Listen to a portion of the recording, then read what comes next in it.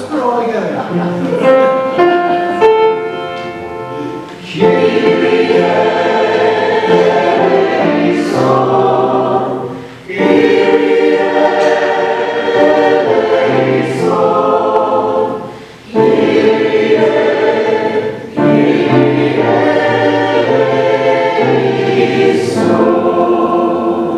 So what we do is, that same melody also works for the invocations. So I would go, Lord Jesus, you change hardened hearts. You teach us to worship God in spirit and truth. Kyrie, Kyrie, Now, when I sing the last note, you start so we overlap. So I go, Kyrie, Kyrie,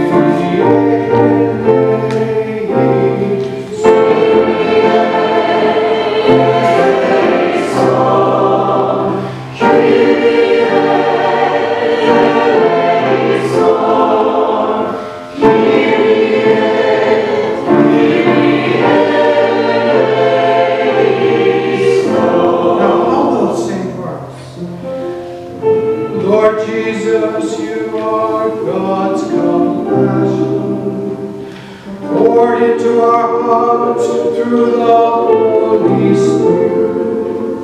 Christe,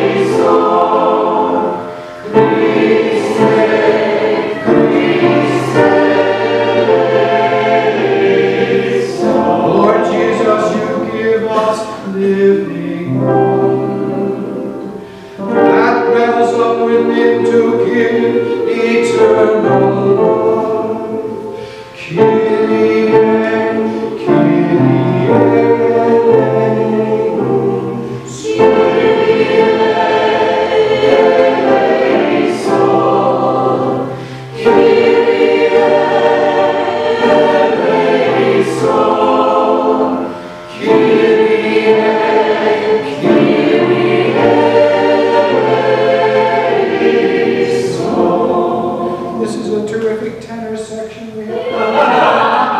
Uh, okay, so you see what's happening at the beginning of the liturgy, before you get to the liturgy of the word, you're beginning to anticipate it. Because the purpose of the gathering rite is not just to call us together, but to call us toward the word of the day.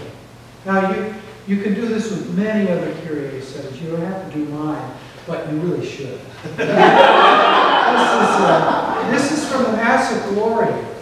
And I've been trying to get them to put it in Breaking Bread for years, and they- there's the other one that they haven't done. But I think this one is much more adaptable. And people can pick this up by ear, so it doesn't have to be in book, but you can get it online.